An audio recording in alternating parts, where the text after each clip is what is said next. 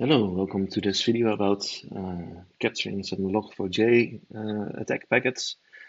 Um, there's a lot of uh, information uh, available on the internet about log4j. Uh, my friend Chris Greer has a nice video on uh, analyzing log4j traffic.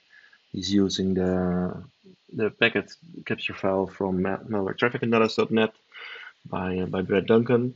Uh, it's got some nice um, examples of, uh, of attack traffic, as you can see here in the uh, in the GET request, but it doesn't contain the actual exploit. So I was looking for that and I couldn't find it, and then I found the presentation by Alex Lind um, using um, a proof of concept library from uh, from Cosmer on how to set up an attack for yourself. So I thought, okay, if I maybe I can do that and capture the packets while doing that. So I went over to the uh, Cosmer, uh, Cosmer's GitHub with the Log4j shell POC, and um, yeah, I downloaded the zip file. So I'm going to show you how that process works. So first of all, you need to download the zip file, of course. I downloaded all the dependencies already, so you don't want to see that part of the installation, but at least you get an idea of what uh, what is needed. So I'm extracting the, uh, the zip file, going into the directory, and if you go back to this page, you can see that to create a vulnerable system, um, there's a Docker build command to create the Docker image and you can see that this is quite quickly.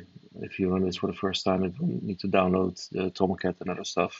So it takes a little bit more time, but at least it the process is nearly the same. So I'm running my vulnerable application as root, or sorry, as a, as a daemon.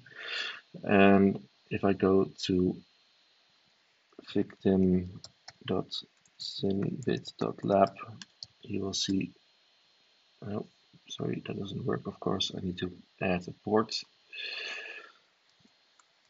8080 and let's put HTTP in front of it.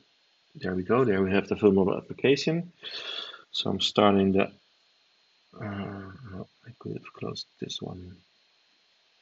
I'm starting up the developer tools, and if I go to log in with test test, you can see that it logs in and it says that it will log the information because I entered the wrong password. So let's see in the Java file how that uh, how that looks. Uh, let's see source main Java sample log for fill. Uh, let's see the login servlet is the one and what you can see is it's importing the log4j library. It creates a, uh, a logger with the library and it uses it to log the username. So if we use the username to uh, to attack the server, that we should be able to do that. Um, yeah, so let's go over to the attacker side in a minute. Uh, let's first see how this login is uh, uh, performed. So I'm going to copy it as a curl command so I can use that on my attacker side. So on the attacker side, uh, let's first start a, a Wireshark trace because that's the whole point of us doing this, or at least the whole point for me doing this. Okay, so capture is running. Let's uh, do again and again, you can see that it's logging our information. You see one login request over here with the response, so everything is fine there. And if we uh, change the, the data to, um, let's see, so it's TMD colon ldap colon slash slash and then let's put in uh, the attacker IP, so that's 203, there's 0, there's 113, 217. And let's do it like that and see if it opens up an, an LDAP connection. This is, by the way, the IP address of the uh, of my attacker system, as you can see over here. Um, so let's see if it now opens up. So you see the same post, but now you see that it also tries to open up a, uh, an LDAP connection to the server. But of course, we don't have a attack system ready yet, so we need to do something for that. So again, I downloaded the, uh, the proof of concept over here. So I'm going to unzip it. All the code that's needed. Uh, then I need to extract the, the Java library that I downloaded earlier. If you want to know how, it's in the description on the GitHub page. Actually, I only need the one binary, but I'm extracting it anyway. So, um, going back to our uh, page over here, let's see how we need to start it. So we need to create a reverse shell. The reverse shell is what the exploit will connect to to provide us access to the system. And we need to start up the, the proof of concept over here. So let's first create the shell. So now I'm listening on port 9001 to uh, accept an incoming reverse shell.